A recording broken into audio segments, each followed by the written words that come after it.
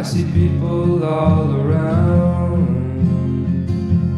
with their heads stuck in the ground.